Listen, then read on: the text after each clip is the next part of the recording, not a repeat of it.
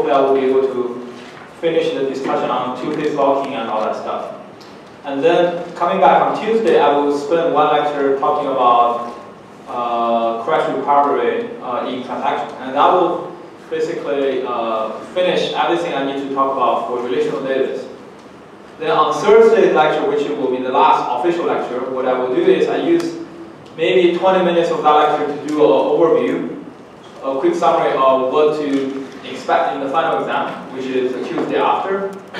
And then I will use another 40 minutes also of that lecture to give you some overview discussion on NoSQL and you know, things that go beyond uh, relational database system. Okay, so that's kind of a roadmap. And I will release a homework for transaction later today or by tomorrow morning. Then that complete, in, in, in terms of homework, as far as homework is concerned, that complete the written part of, of the assignment. Uh, essentially homework three, uh, which you should be working on right now, and homework four that I will be releasing will essentially be what you need to prepare for your final test. Okay? And lab four is due today, if I'm, if I'm right, due today at five. Uh, there will be another lab, lab five. So, but to make sure you have time to prepare for your final test, uh, I will release lab five either today or tomorrow. Then set the due date to be a week or even a little bit more than that after the final test. So that you can have plenty of time preparing for your final test while working on your lab five. Sounds like a plan? And I will release homework 4 today and release a solution of that uh, next Thursday, after next Thursday, after the last lecture. So you have at least four or five days to review that before your final test. And the final test is on Tuesday, December 5th, as I mentioned at the beginning of the semester in syllabus. And the final test will be subject to the same policy, open book policy as we did for the midterm test. Any question on this? And your overall grade for the course, uh, as I mentioned at the beginning of the semester, will be 50% of your overall grade come from your project, and 50% come from your two tests. Meaning final and midterm each will be 25% of your overall score. If you want to understand how well you do, just look at you know the overall score in Canvas. Right? Uh, that shows where you stand. Okay? Alright, let me continue with the discussion on transaction. So, we demonstrated, you know, how transaction works in MySQL. Uh, we demonstrate the, the problem of transaction. Uh, so far, we concentrate on one aspect of uh, what transaction can provide to you, which is to ensure concurrent access to database, right? So using this concept of transaction, you can get rid of all these potential conflicts, uh, as I demonstrated using a couple of examples, right? You may have conflict at uh, attribute level, at tuple level, and even at table level, okay?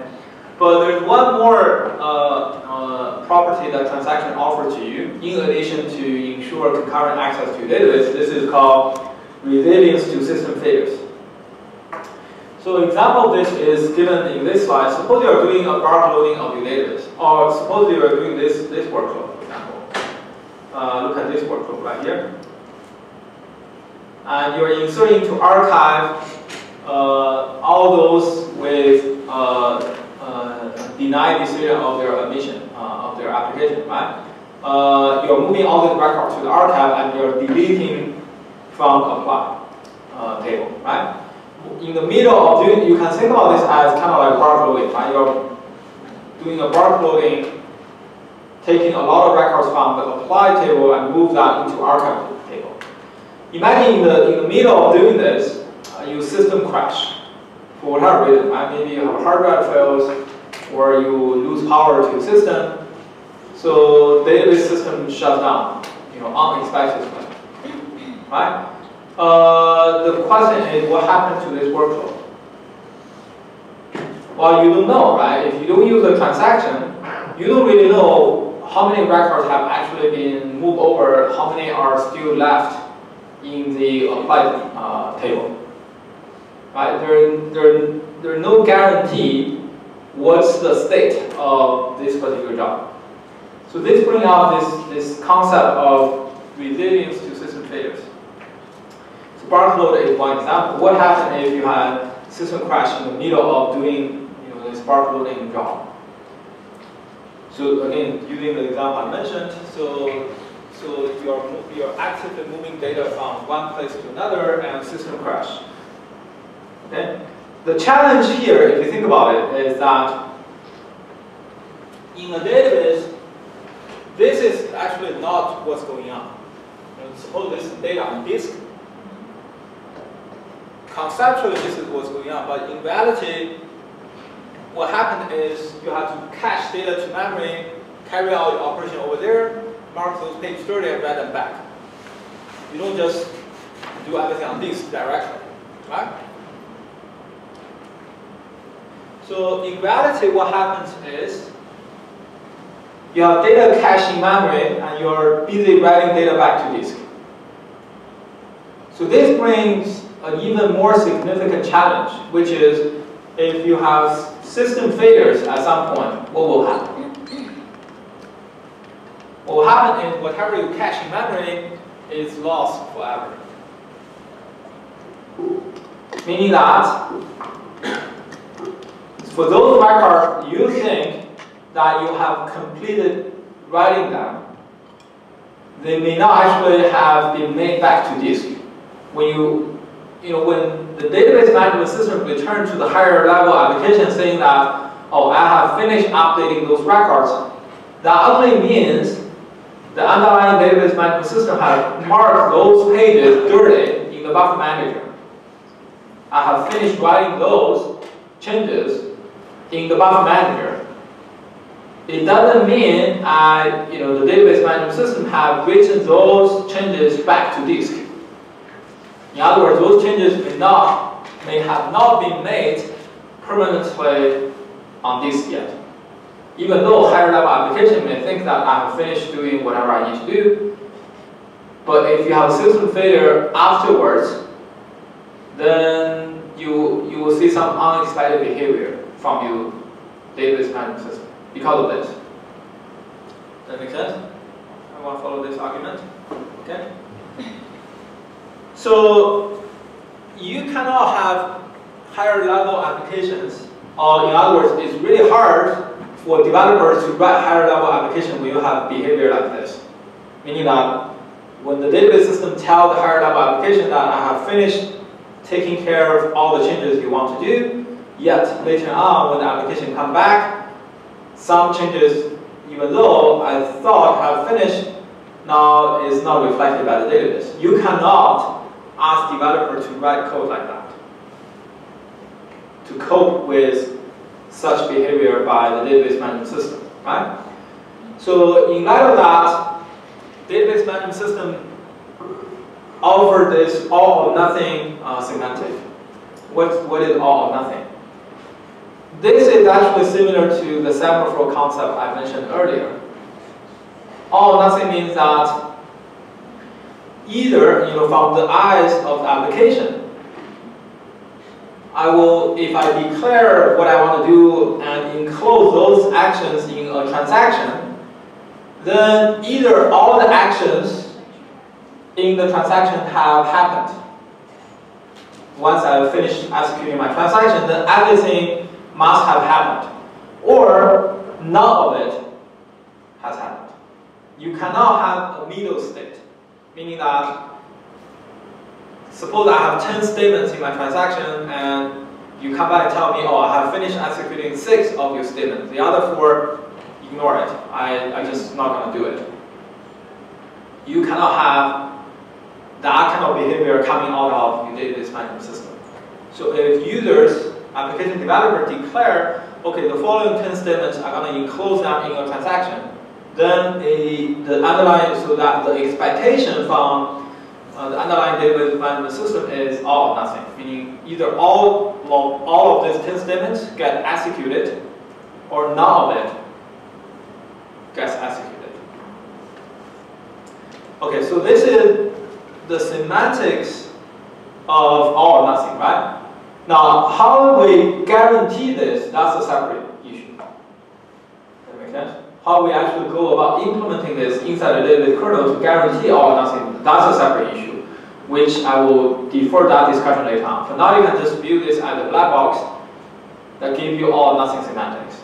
How this actually is implemented within the database system, we will talk about that later. So transaction basically, that means that now we understand the two major properties uh, pertaining to a transaction in the database, which is first of all concurrent access, guarantee concurrent access to, to database without conflicts. The second thing is guarantee this all or nothing semantics. These are two different concepts, by the way. Okay. Uh, the first one, yes. So I was wondering, databases, I guess, even still guar like have all these nice guarantees, even in the case of like maybe it fails like halfway through Yeah. writing some buffer, like so half of the buffer gets written and the other half Yeah. doesn't. Does it even guarantee, I guess, in that case that you don't get? Uh, you are essentially talking about the details of how to guarantee this all nothing stuff and what other Okay. behavior. I will, I will rather defer that discussion later on when I get into it. Okay. Alright. So essentially, to summarize the two properties pertaining to a transaction, we can summarize using these two bullets. The concurrency control aspect of transaction basically says that you, the underlying system will execute multiple transactions in parallel, meaning that statements from different transactions may end up interleaving each other. However, from the user application point of view, it seems that each transaction is executed in isolation. I I mentioned a naive solution for guarant for achieving isolation is what? Someone tell me what's a naive solution for achieving isolation? Yes. Just one at a time. Yeah, just run one transaction at a time and do not run any other statement from any other transaction until the first transaction has completed. So the point is, that's not what the underlying database, system is doing. The underlying system does interleave action from different transactions. However, from the higher level applications point of view, it seems that that's what's going on. Each transaction executed its statement entirely before the next transaction gets executed. Does that make sense? Okay? So that's essentially the first guarantee. The second guarantee is what we just talked about, which is if the system fails, each transaction's changes are reflected either entirely or not at all. This all or nothing semantic. Okay? A transaction is basically a sequence of SQL statements, and in most database systems, there is this mode called auto commit.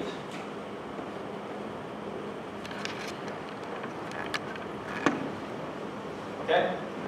So, for example, in MySQL and Postgres SQL, they have this property called auto commit, and by default, auto commit is set to true. If that's the case, you do not have to specify begin transaction and commit statement to declare a transaction. Every statement by itself is a transaction. Every single statement is a transaction by itself. That's why you update statement, you insert statement, the changes are reflected in the database immediately, even if you never type a commit statement explicitly. Because by default, auto commit is true. So that every statement is treated as a transaction by itself. In other words, each transaction is just a single statement. Does that make sense? But even in that case, you can override this auto commit behavior. What if, for example, I the next few statements, I have two update statement, one insert statement. I want to ensure this all or nothing semantics. Meaning either you execute all of them or none of it gets uh, executed.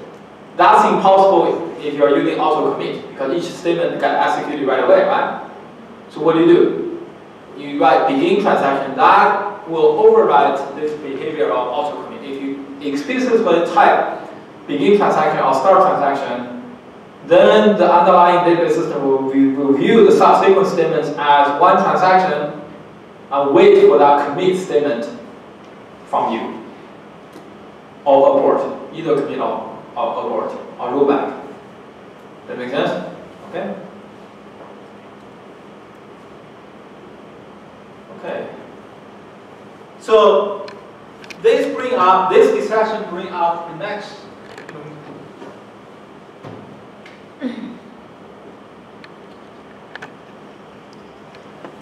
uh, the famous ACID properties of transactions. ACID properties of transactions. A stands for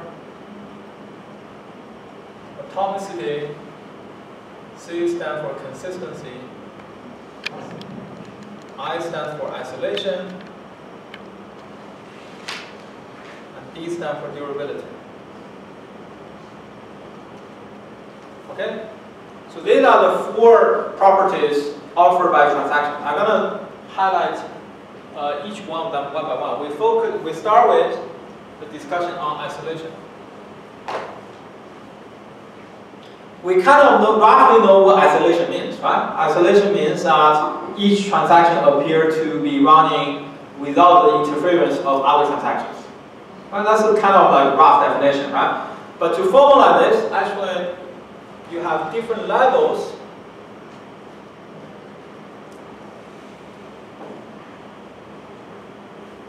Of isolations, different level of isolations. Okay, the strictest level, the strictest level of the, or the strongest level of isolation is essentially what we said, meaning that each transaction appears to be running entirely isolated from others, meaning saying that they be running, they are running in sequential order, one after another, and that's called serializability. Serializability. or serializable isolation level. So the concept of this is defined as follows, meaning that operations from different transactions may be interleaved, meaning you can interleave them in order to improve your throughput. For example, if, if one operation or one transaction is very expensive, take a long, take a long time, while your CPU is idling. For example, this this operation is not using any of your CPU resources, but busy reading data from disk. So it's, it's a lot of I/O stuff, but no CPU. So your CPU is idling. In the in the naive approach, you will have to wait for this to finish and executing subsequent operation from the same transaction before you can do anything else.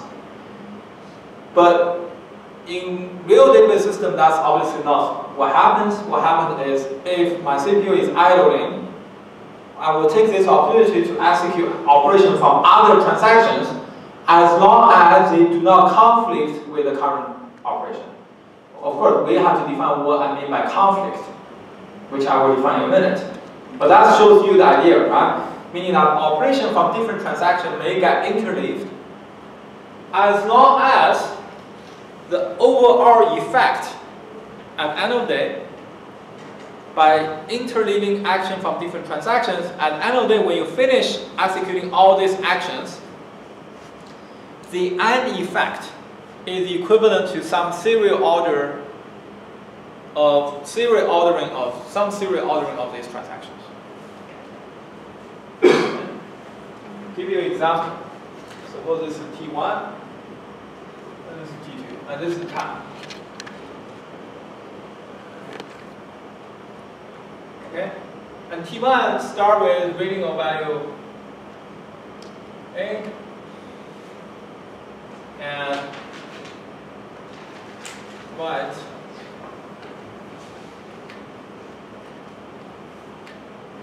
and let's say commit. Uh, a very simple transaction, okay? And T2 is which value B.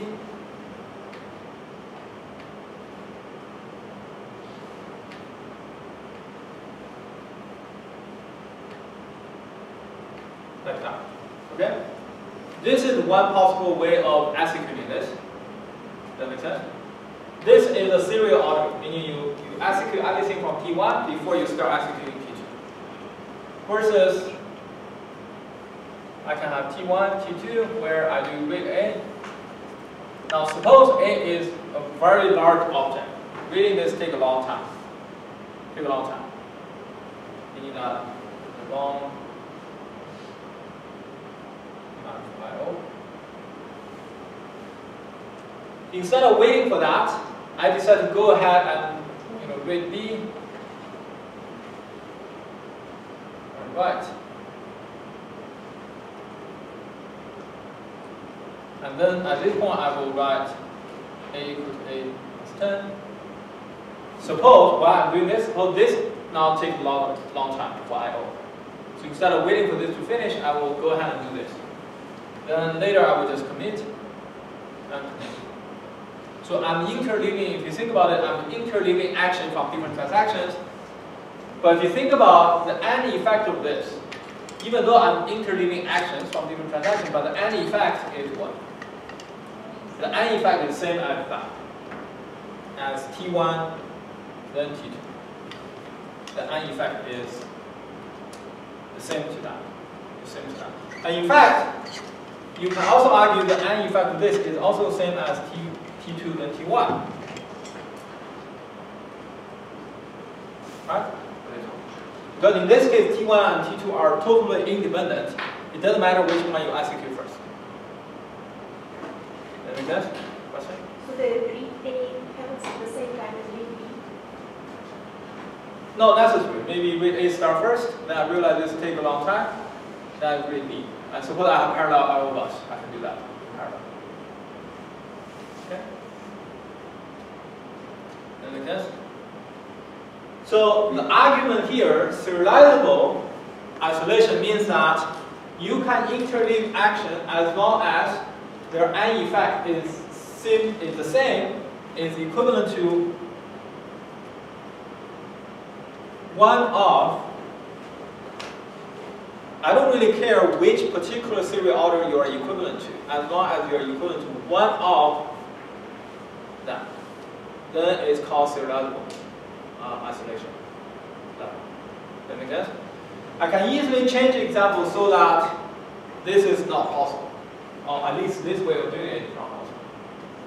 Example, I can change this to also read A. Okay? Now what happens?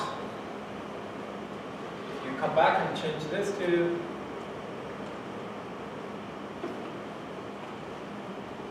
is this now still equivalent to T1 and T2?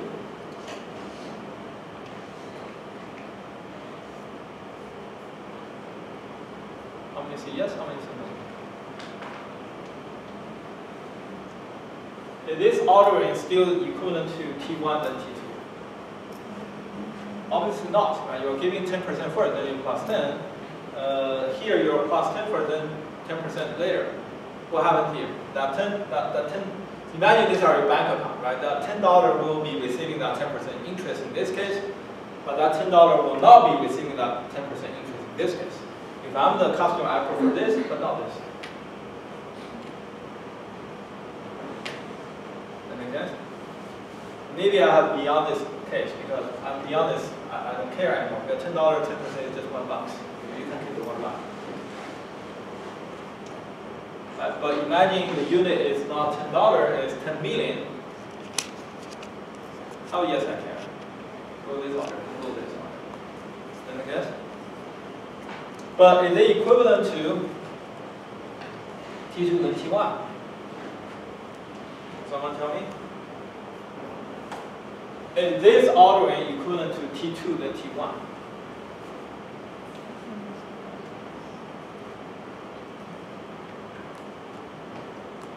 The answer will be, I need a help. Yes? Um, yes, because A is read for exchange for T2. So, like T1 will finish up, actually, no, never mind, because it doesn't take Think twice. T2 into account, yeah. Think twice. it's tricky, okay? It's not an thing. So the problem is, you read this value of A, and you update this value A. By this point, the value A you cached in the I of T1 is outdated. So it's not equivalent to either of them. Okay? Still don't see the trick? All right, let's A start with 100 bucks. Let's A start with 100 dollars.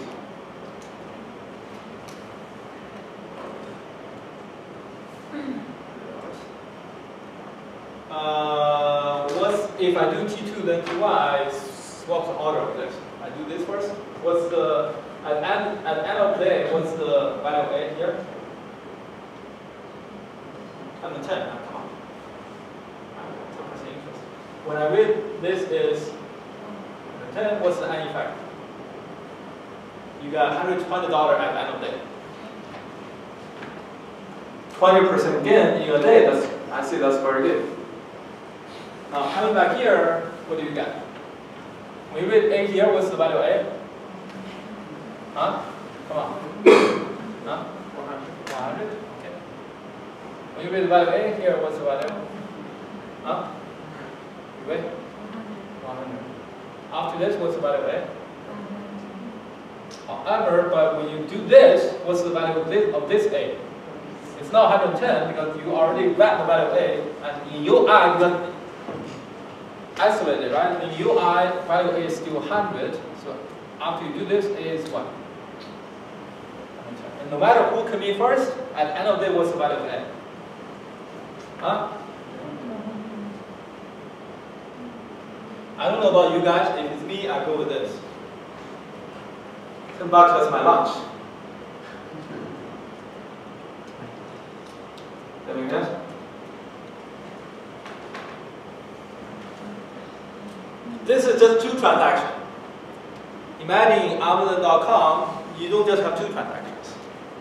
There are millions of transactions, and each transaction don't just have two actions. So it's not simple to interleave them and still ensure serializable. Do I, I hope I convinced you that. Do you follow what I'm saying?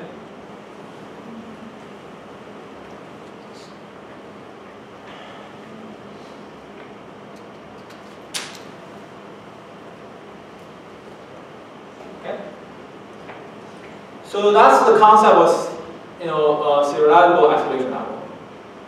Okay. This is using our, our simple example to demonstrate that. So once you impose a particular of course there are other isolation level, are another isolation level I'm going to introduce next.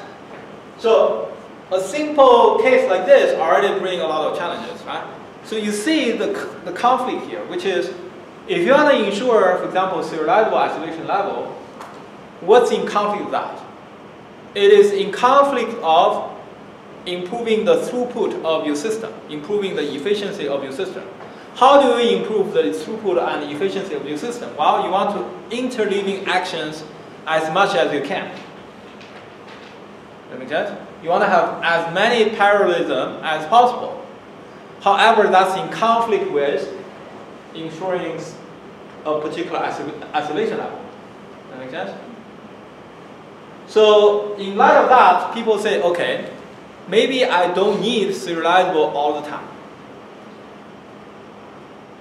So I can relax the serializable requirement to go for a weaker isolation level so that I can have more parallelism, more interleaving of action from different transactions. So it's a trade-off between the two. Imagine in the worst case, I don't care about isolation at all. You can, it's a wild west. Do whatever you can. Be an outlaw, right? As long as you can beat. You know, I've been watching this series. I highly recommend Longmire. Have you watched this? Suppose you can beat this guy Longmire, then you can do whatever you can. Right? Uh, then you have no isolation at all, but you then your uh, parallelism is at the highest. So you want to balance or trade-off between the two. So that's why I'm going to introduce another isolation. There, there are actually four popular isolation level people use. So reliable, snapshot, uh, committed, and another one I'm going to uh, cover. I'm not going to cover all of them. I'm going to cover another one. Uh, before I cover the next one, I want to define this thing called dirty read. So third rate is you're rating an item by an uncommitted transaction. So if we come back to this example here, by the way, if we come back to this example here, this is one way to understand the problem here. Another way to understand the problem is, so uh, let's come back here. Right? So another way to change this to, suppose I, I want to fix this problem. I notice that there's this problem, right? I'm going to fix this. How do I fix this? I say, okay, fine. I'm going to do this. I'm going to ask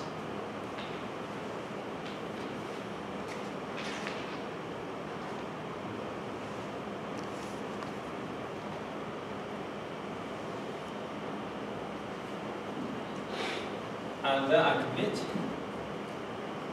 And this, you say, okay, this must be, this must equal to T2 then T1, right? I, you know, at, at this point when I read, hey, this got $110 and this give me $120, everything seems fine. Do you follow me? What's the problem? Imagine this is the bank, this is the user. What's going on is the bank decided to give 10% interest to this guy, and this guy then deposited $10 after the interest is given by the bank. Uh, what's the problem? If you run a bank like this, you will be sued to death sooner or later. What can happen actually? What can happen is the bank may come back and say, okay, wait a minute, that 10% interest is not to you. I made a mistake. It's to person B. That? I made a mistake, so I decided to to go back the 10% interest I given to you. Now what happens? But from the eye of this user, at the time I read this, it's 110, I, $10, I got 100, I don't care what you, I mean, I need $120. That, that $10, the magic $10 somehow to give to me. You follow the argument here?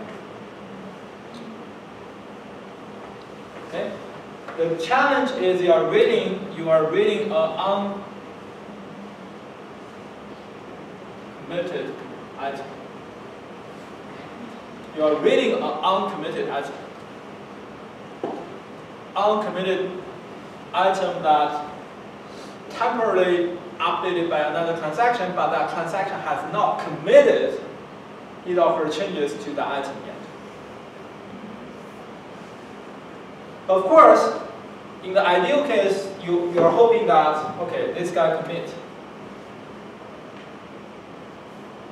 Then no big deal. But what, what, what happened if this guy decides to go back?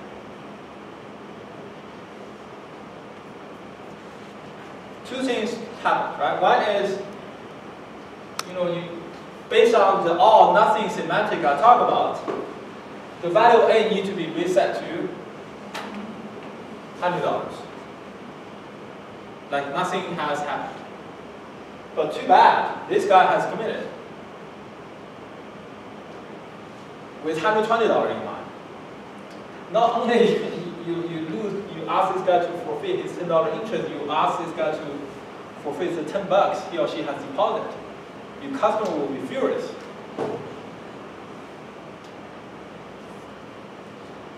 You know, that's what happened to me once at AT&T, and I decided to, you know, the next thing I did, I got my PIN and account number switched to another by, uh, carrier right away.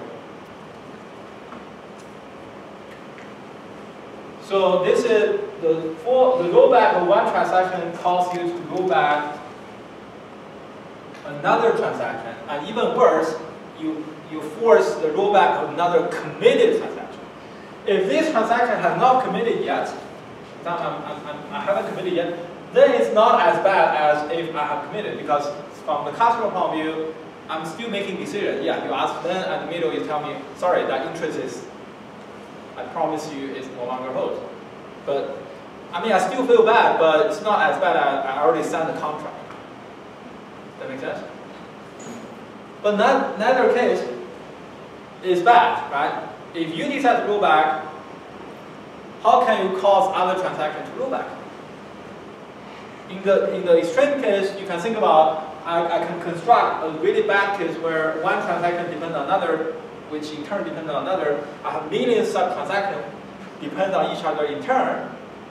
And imagine this happened on Amazon.com. Then one supplier decides to roll back the stock, he or she just deposit into his or her shop. That one single action can trigger back, trigger all those millions of transactions to go back. I mean, Amazon cannot operate in that model, in that, in that model, right?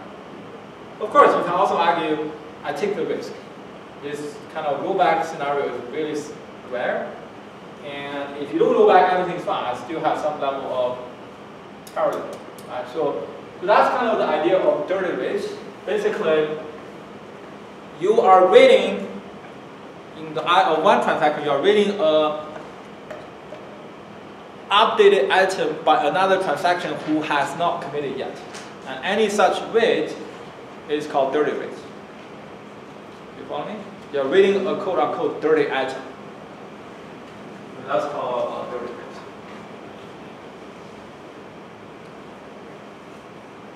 Okay, so there, there, there are several examples. Now I'm going to introduce another isolation level called repeatable read. Repeatable read says, first of all, you may not perform dirty reads. If you don't have dirty reads, you avoid what your problem. Can you guys tell me? You avoid this cascading rollback problem. This is called cascading rollback.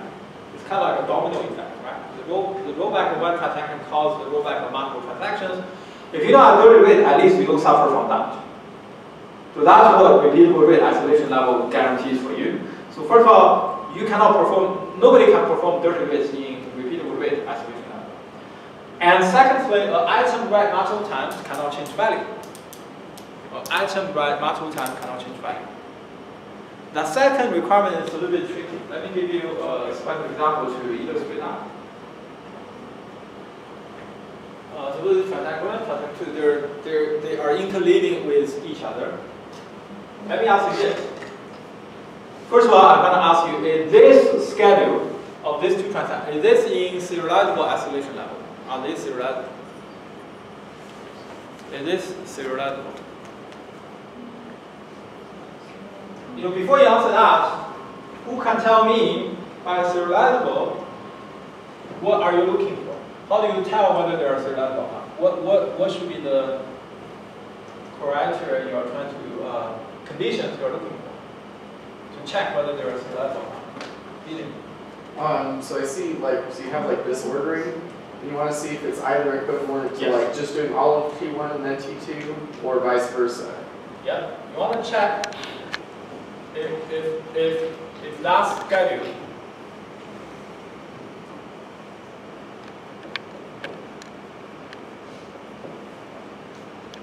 if it's equal to one of them, you don't have to, to be equivalent to both of them, but as long as you're equivalent to one of them, then it is a schedule. Now, that means that Dealing has helped us with this. Now, can someone tell me it equivalent to this?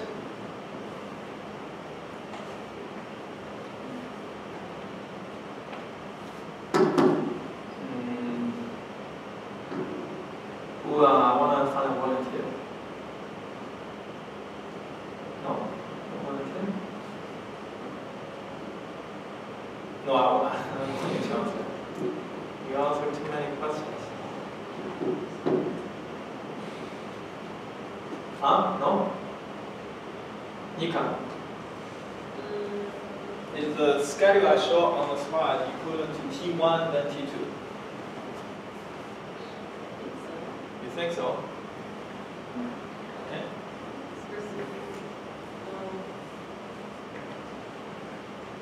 Think twice. Maybe not. Okay, explain to me why. This first will, Speak louder so the other uh, can hear. so if we do T1 then T2, the first time we select from users, we don't have Bob. The second time we, the second time we do. But if we do T2 then T1, Hold on, hold on.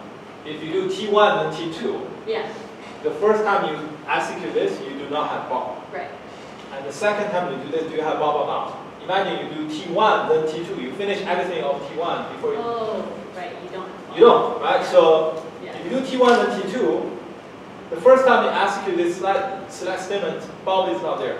The second time you execute this, Bob is not there. This is kind of like everybody does in the parking lot, right? You lock your car, you hear the beep. How many of you will want to hear the beep again?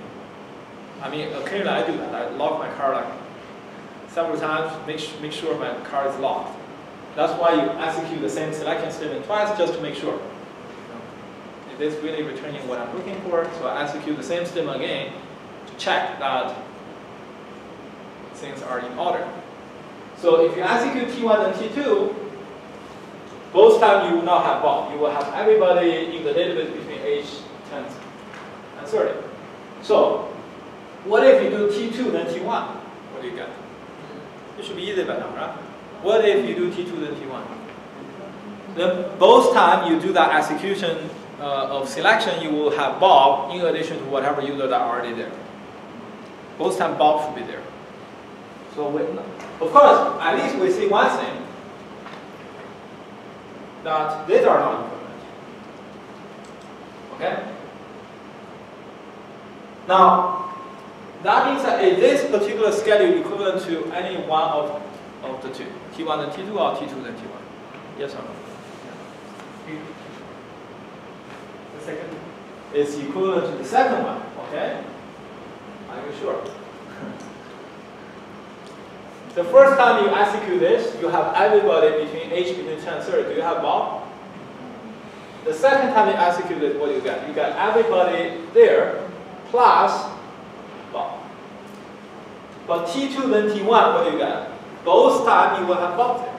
So it's not equivalent to T2 then T1. Similarly, it's not equivalent, so it is not. So it is serializable. It is serializable. Huh? This obviously is not serializable. You guys need to confirm this, okay? I mean, serializable means that you have to be equivalent to one of the serial execution, and you are not equivalent, and there are only two serial orders here, because you only have two transactions. For n transaction, there are n factorial possible combinations, but for two, you only have two possible serial orders. And we verify that it's not equivalent to none of them. So this cannot be in serializable isolation level. So serializable, if you are in serializable isolation level, what happens? This will be rejected. And you have to, you have to, meaning that the only possible schedule in serializable isolation level is to do this or this. You follow me?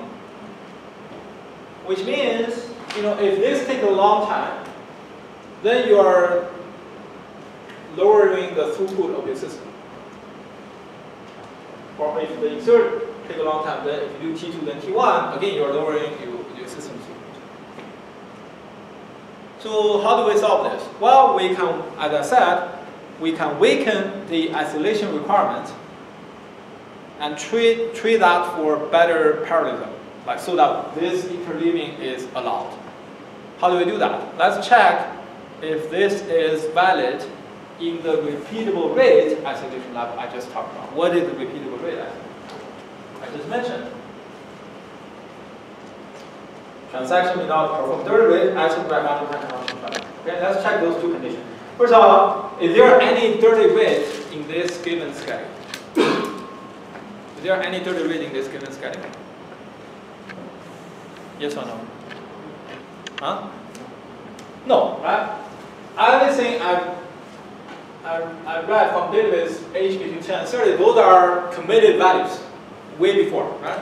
Nobody has changed that since, since the start of my reading that. The second time I execute this then I'm reading all those guys, those are committed, plus this Bob person. However, it is committed. So it's not a dirty read. I'm reading a committed atom, so it's not a dirty read. By the way, once you commit, you cannot come back say go back. It's like signing a contract. Once you sign, done. You cannot regret whatever you have done. I mean, you can regret, but that's as far as you go. As it goes. I mean, you can regret the whole day, but nothing you can do about it. Regret is a feeling. You can have whatever feeling you want, but nobody cares. Once you commit, you commit. Okay. You cannot roll back. Now, what about the second condition? An item read multiple times cannot change value.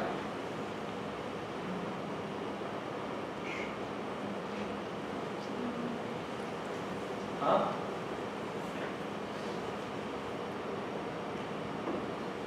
It doesn't satisfy that. It doesn't satisfy that. It has inside. Okay. Be a little bit careful in interpreting that statement. An item read multiple times cannot change value. What you are saying is, the first time I, I perform that rate statement, the selection statement, Bob is not there. The second time I execute the same statement, Bob is there. Think about the objects. Okay, the objects I, I have read. The first time, what do I read? What do I read? I read every object, let's say I have an object, those age is, okay? The second time, what do I read? Obviously, I'm gonna read all these guys again. Plus what? Bob. huh? Suppose I'm, I'm person age between 10 and 30. So what you are seeing is from a set point of view, this set, this set has changed the value. But that's not what the definition says. The definition says item read multiple times cannot change value. Which item has been read multiple times? Those items have been read twice. Have any of those changed values? No.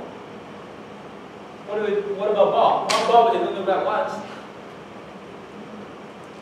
So it satisfies that requirement. Yes.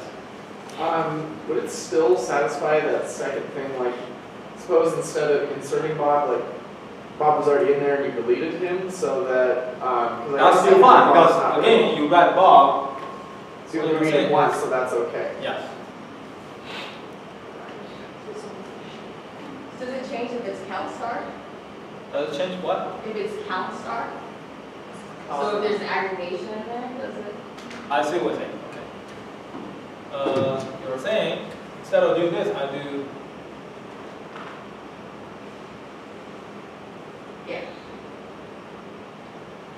Excellent question.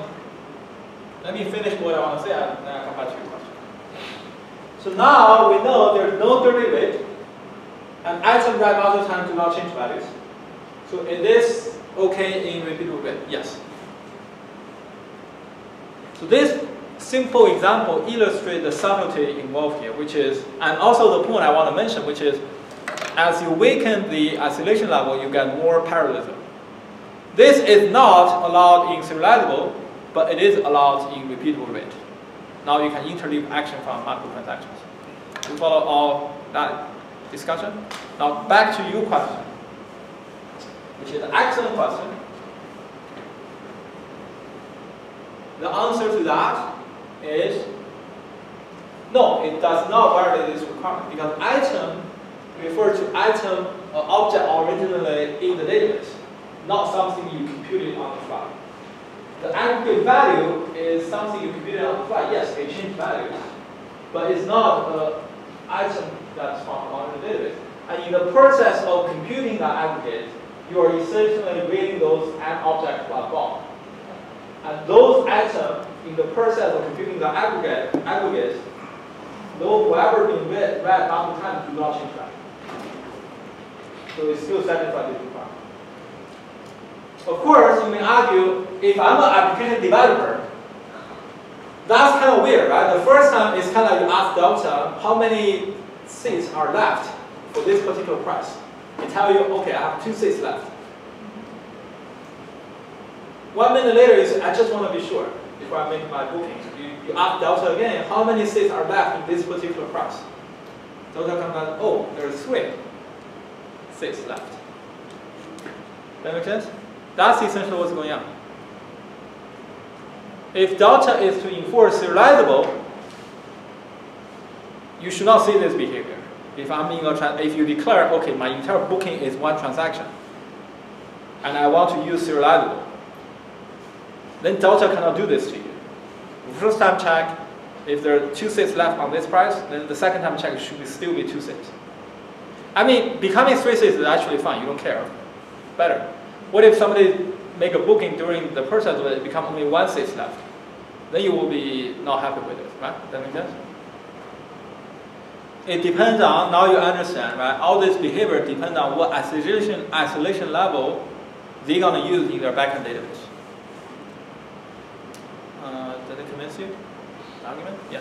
So you can switch the order first read two times and then insert something or? Uh, can you speak louder and slowly again? Can you? Um, Can you change the order first three two times? Can you change the order to, what do you mean? Like first three, first play. First you do this, the selection, And and, what's on the bottom? Then and you do the that, selection again. And then you do that. Oh, then that's just a serial schedule, that's just T1 and T2, right? Yeah. That's just T1 and T2. That's, yes, of It's course you like- can do It's that. like you read two times, so you can't change it by that rule.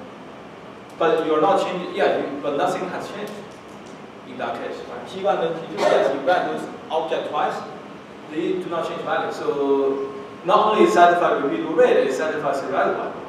It's actually satisfied a stronger isolation level in that case. You have some question on, you know, alright, fantastic. The final discussion I'm gonna have on this example is, what if I move this commit? Suppose this insertion takes a long time. Bob is a big object. Let's assume each user has a picture associated with it, and Bob upload a two gigabyte picture of himself. Right? So you say, okay, I don't want to wait for this to commit before I execute it. It's blocking my execution of the selection. So what I do, you can start the insertion and commit here. You follow me? I move that commit here. Is that okay? It is still in repeatable read isolation level. Why not? Um, Yeah. Yeah, um, it's a dirty read that. Now it becomes dirty read. Now it becomes dirty read. Okay. All right. So that's other thing I wanted to say about this. Uh, so that's isolation. There are some uh, summary, some summaries we did yourself. Okay, this is just from a concept point of view what isolation means, and uh, right after the discussion of the following few slides, I will start talking about how in the database engine we actually guarantee or achieve different isolation levels. Now, so now we've kind of finished the discussion of this. We understand what isolation means. Of course, we still need to discuss how we achieve different isolation levels inside the database engine. I will talk about that in a minute. But let me explain the other properties first. Isolation. Isolation is achieved by locking, which I will talk about uh, in a minute. Next, we're going to talk about durability. So the point of durability really is, if you allow me to rewind, durability means that from the eyes of your applications, I make changes to the database. What happens inside the database, that's kind of like a black box to me, I don't care. I mean, you have to deliver your promise, which means if I have made my change and I have committed my change, those changes must be durable, must be permanent.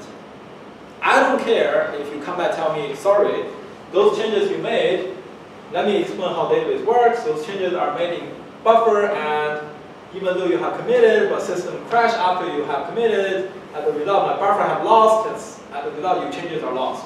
Users do not care about all this BS stuff you explain to them. They don't care. I mean, at the end of the day, I pay this money, how you implement your but that's your problem.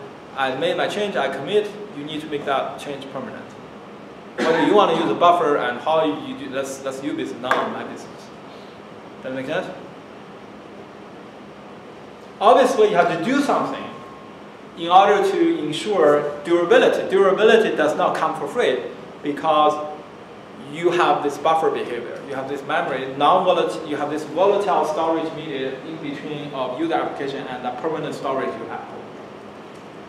As a result of that, durability does not come for free. Does that make sense? You have to do something to ensure durability. How do we do that?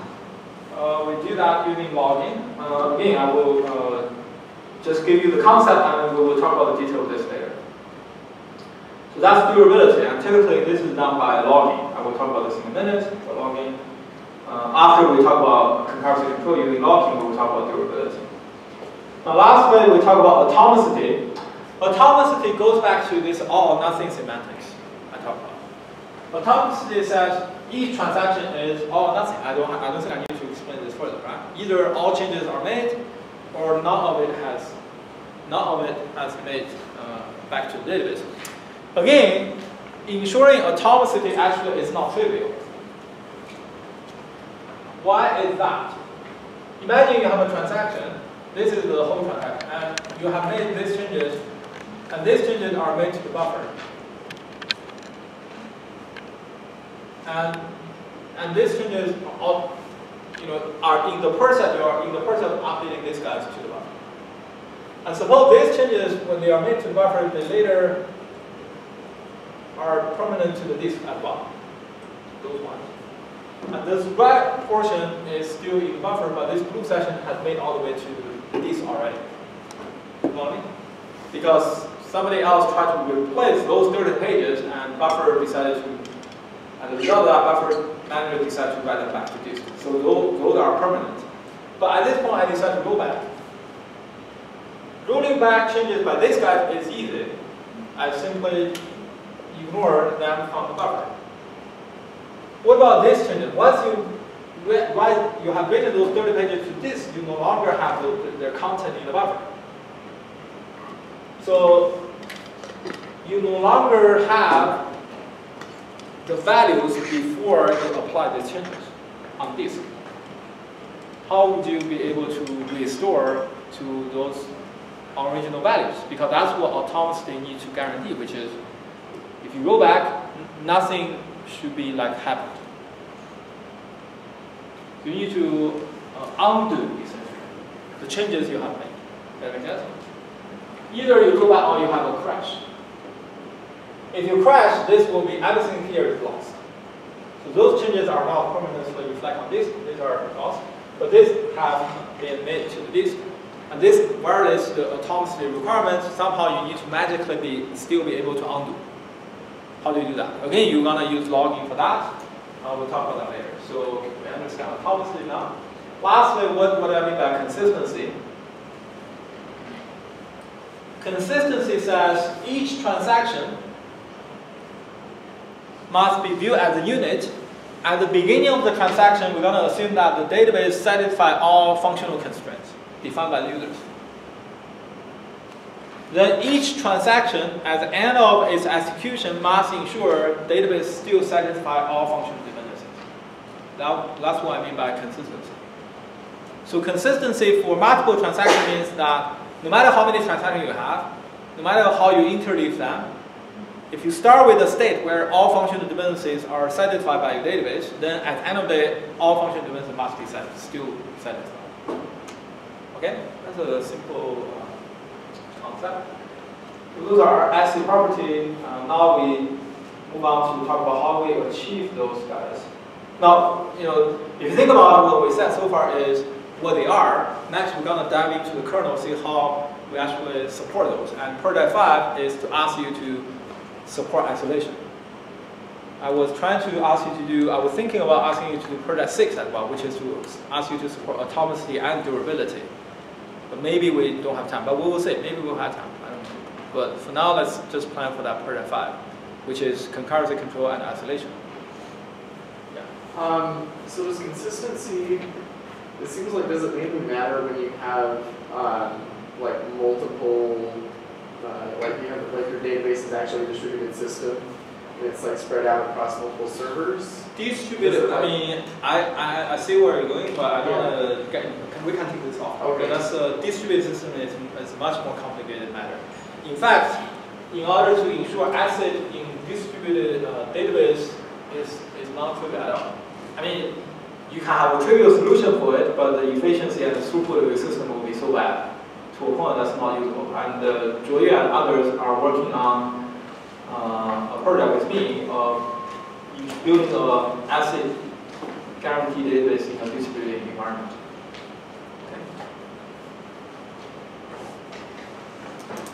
Distributed means that you have a database sitting on hundreds, thousands of nodes.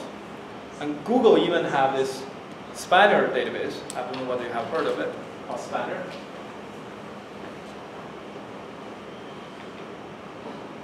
And not only it ensure, it doesn't ensure the strongest ACID property. What I mean by that? It doesn't ensure, it cannot give you serializable uh, isolation level, but it can give you, for example, read committed or snapshot isolation level. Not only in multiple nodes within a single data center, they can do this over multiple data centers where each data center has thousands of nodes.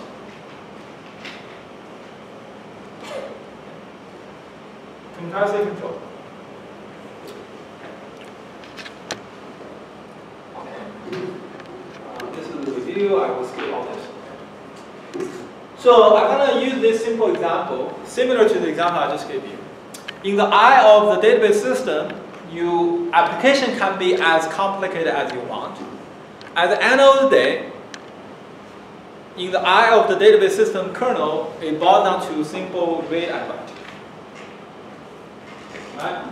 For example, to decide I'm gonna give 6% interest to A, that could be a really complicated process. You run a machine learning model, whatever, you figure out at the end of the day, yes, 6% is the interest I should be giving out to the users. But from the eye of the database, all those computation is irrelevant. At the end of the day, you ask me to write object A with 6% interest. Does that make sense? So I can abstract away all those complications and simplify my view to read and write. To a sequence of read and write to represent any transaction you have. So here I have two transactions. One transaction is initiated by user. Imagine you, how many bank accounts do you typically have? It's a, it's a private question? But I, I would imagine you have more than one bank account. Do you? I, I have more than one bank account. Okay. So I will transfer money from one to another. That's what I'm doing. I, I deduct hundred dollars from B and add hundred dollars from A. Of course, nowadays most banks do not allow me to do this. They will definitely ask me to deduct hundred dollars first, then add hundred dollars later.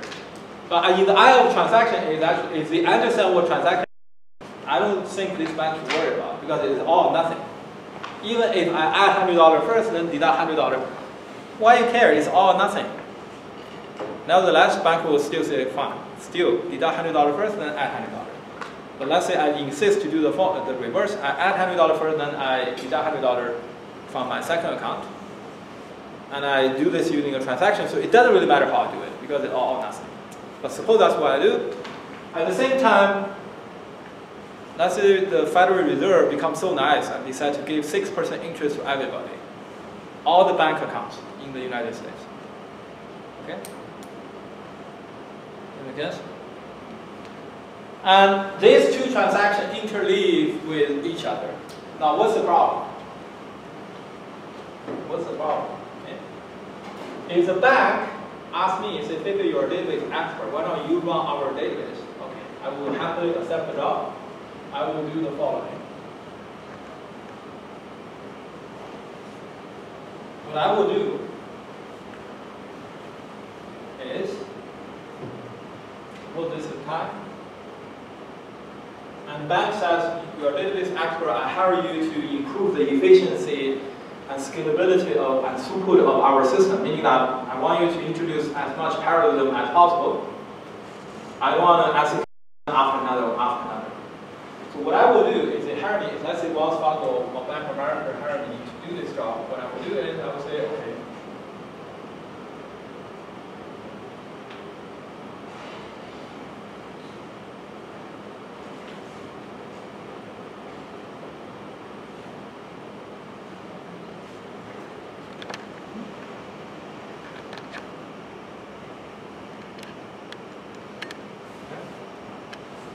uh, what happens? In this is right. You know, depending on who you ask. If you ask me, hell yes. if you ask a bank,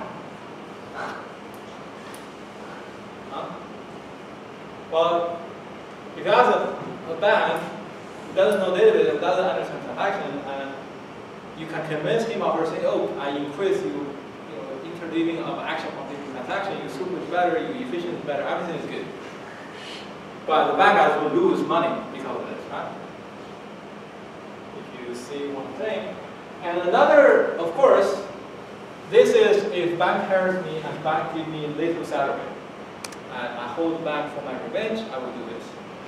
If the bank says, maybe I'm going to hire you, include, uh, increase the parallelism and everything, and, and they give me a big check as my salary, I will do the following. I will say, instead of this, I will say, okay,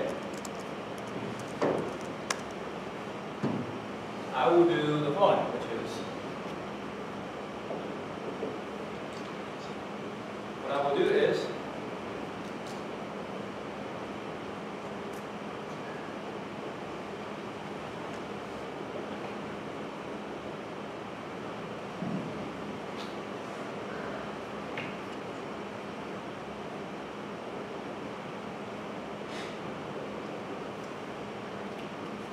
I will do this if bank give me a lot of, give me a big check as my salary.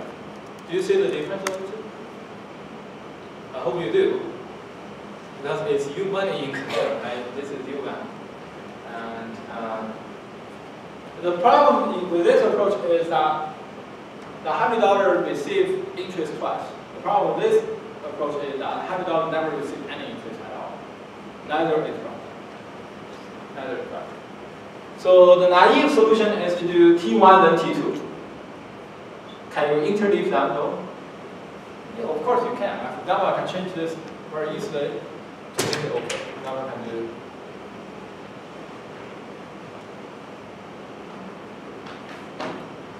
Now this is okay. Right? Now this suddenly becomes okay. And I have interleaving, I have parallelism, and. Right? This is this will happen if bank pays me a good salary and I have my integrity in place, which most time I do. Right? Then I will do this. Me? Okay? Uh, so this is a discussion. So the, but the, the challenge is you. The, I think this simple example illustrates you that you cannot rely on any one person to design a particular schedule for your database system. That's dangerous. Nobody will use that database ever. In other words, we need to implement this functionality support within the database kernel so that nobody else uh, can dictate how the database system behaves. How do we do that? Uh, we introduce the concept of serial schedule. Serial schedule is just executing transaction in sequential order. T1, then T2, then T3, or T2, then T1, T3. You may have n to uh, n factorial number of uh, serial orders. It doesn't really matter which one you, you choose. Okay? Any one of them is a serial order. Uh, next, we introduce the concept of equivalent schedule. Equivalent schedule says that any effect of two schedules are the same, then these two are equivalent schedules. If the any effect of the two schedules are, are the same, then these are called equivalent schedules. So a serializable schedule is that it's a schedule that's equivalent to some serial execution of your input transactions. Okay, this is what we call serializable schedules. So serializable schedule refer to those schedules the n effect are equivalent to one of the uh, serial schedules one of these factorial possible combinations. And before we talk about how we achieve, so the objective is if, if you are in the serializable isolation level, now we can understand what, can formalize that serializable isolation level, right? If you are in the serializable isolation level, what do you want to do? You want to find only serializable schedules. If you are generating only serializable schedules, you guarantee to be in serializable isolation levels. That make sense? Okay, so that's our objective. But before we talk about that, uh, first let's introduce a couple of anomalies when you start interleaving actions together. There is a WR conflict, right? Wait. Uh, by the way, all these conflicts refer to action coming from different transactions. If those actions are in the same transaction, that's fine. For example, dirty read as an example, you read an uncommitted item. But you're reading an uncommitted item from another transaction. If it's from the same transaction, of course it's fine. I update something I haven't committed yet, I read the value. If you prevent that from happening, nothing you can do, right? Nothing you can do. So by default, this, all this refer to actions from different transactions. So the first one is WR conflict. WR, if you think about it, is exactly dirty reads. R is from transaction 2, W is from transaction 1. So you're reading an item written by a different transaction. Of course, this WR, W stands for write, R stands for read, refer to the same object. If you write B and read A, that's totally fine. So it's WR for the same object. This essentially is a dirty read. You follow me? What about RW? What's wrong with read and then write? Same like this should be okay, right? You, you read something and write it. What's wrong with it? For serializable, this may not be a problem, but for repeatable read, this may introduce a problem. I read the object A, then transaction to come and write object A, and I decide to read object A again. So RW will lead to what? Unrepeatable read. So it may not be a problem for serializable schedule, but it will be a problem for repeatable read. And in fact, there's no dirty read here. There's no WR conflict because I have committed. That's a subtlety here. You had a question? Yeah, so I thought though that um, I thought serializable was a superset of repeat or repeatable read or um, yeah. And? So I thought that like because you said that it could still be serializable, and I thought it would be serializable because it's not repeatable read. And what's the point? I don't follow you. Because I, well, I thought you said that this could still be serializable even if you had an unrepeatable read. But I thought that, it, I don't know, that was confusing. Okay, I see what you're saying. Okay, let me come back to that point later on. Serializable, okay. Serializable is a, a, a large set of transactions. In, in reality, what happens in database engine is that to find all possible serializable schedules is expensive. So I will use a particular algorithm that guarantees to return only serializable schedules. But that's not to say I will return all serializable schedules for you to choose. These are two different things. Does that make sense? Mm-hmm. So this is what we call unrepeatable read. Lastly, we have WW conflict. Overriding uncontained data. What's the problem with that? If you look at this particular example, can someone tell me what's wrong with this? This, there is a WW conflict, right? Somebody write A, somebody write A, somebody write B, some, some else write A, write, write B. If you have WW conflicts, the problem is you may end up with a situation like this where one transaction determines the final value of one object and the other transaction determines the final object of the other object, which is not okay because either you ask transaction 1 to determine the final value of both A and B, or you ask transaction 2 to determine the final value of both A and B. So meaning either you do T1 then T2 or T2 then T1, you don't want to end up with one guy says this and the other guy says that. Does that make sense? So that's the problem with WW conflicts. So remember, we have these three conflicts and we want to avoid them in order to build serializable schedules. So the solution for all this, to avoid all these anomalies, by the way, so to answer Gideon's question, is that these are sufficient conditions but not necessary conditions for serializable schedules. That answers your question. Basically, if I don't have any of these anomalies, I guarantee to have serializable schedules. But it doesn't mean if I have a serializable schedule, you cannot have any of these anomalies. For example, I may still have unrepeatable read, but I mean that could still be maybe a, a, a serializable unrepeatable read. So these are sufficient but not necessary conditions for you to satisfy a particular isolation level. So that's the point I want to point out. Nevertheless, if they are sufficient conditions, what that means is as long as I do not have these anomalies, I guarantee to have serializable schedules because these are sufficient conditions. To ensure I have none of these anomalies, people use this uh, particular algorithm called straight two-phase locking algorithm. Straight two-phase locking introduces two locks, two type of lock, shared lock and exclusive lock on any object. Share log means that you can share the log of this object with not any other number of share logs on this object, but not compatible with exclusive logs. Exclusive log means that you cannot share the log on this object with any other uh, logs on this object. Uh, I think I'm running out of time, so let me finish this. Okay.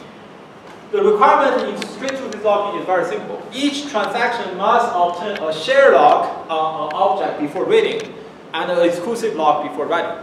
That's it. What if you are in conflict with somebody else?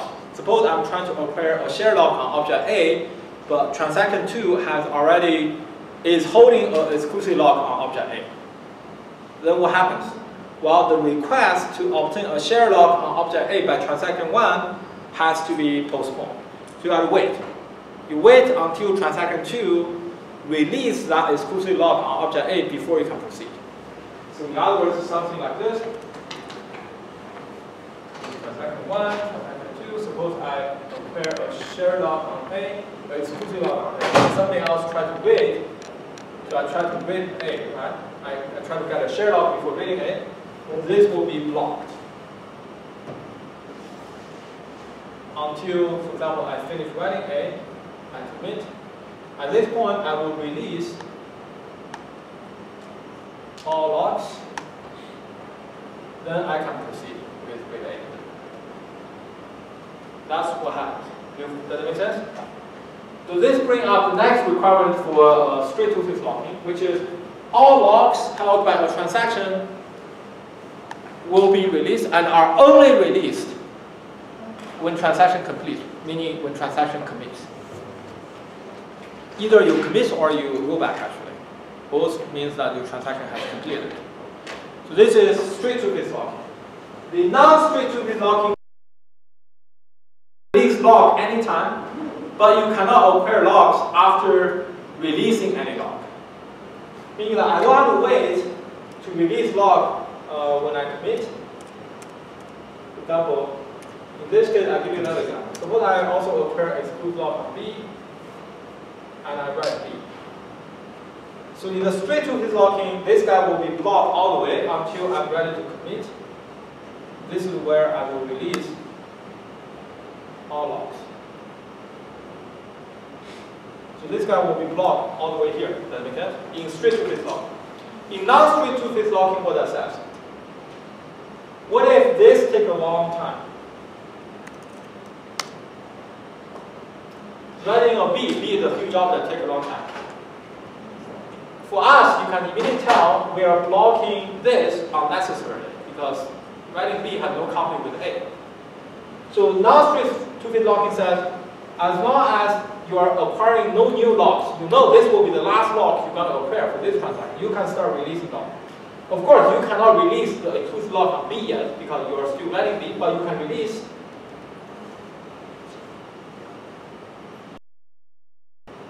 you can release this lock because you no longer need it. Even though you are not committed yet, you can start releasing locks so that while you are writing B, I can proceed with reading A. So you can get you get better what parallelism of it. But the, the key requirement is once you start releasing lock, you cannot acquire any new locks. So what's the trade-off of the two? Both of them, I'm, I'm, gonna, I'm not gonna prove this, but I'm gonna just give you the claim. Both of them guarantees only serializable schedules. They, they deliver only serializable schedules. Then you may wonder, why not always go with non-straight two-phase locking? Why bother with straight two-phase locking? Seems like non-straight two-phase locking always better. The catch is, for non-straight two-phase locking, you may end up with cascading abort. What if I do not commit? For some reason, the write of B fails, and I have to abort. If you use non-straight two-phase locking, what happens? Uh, if that's the case, you are reading a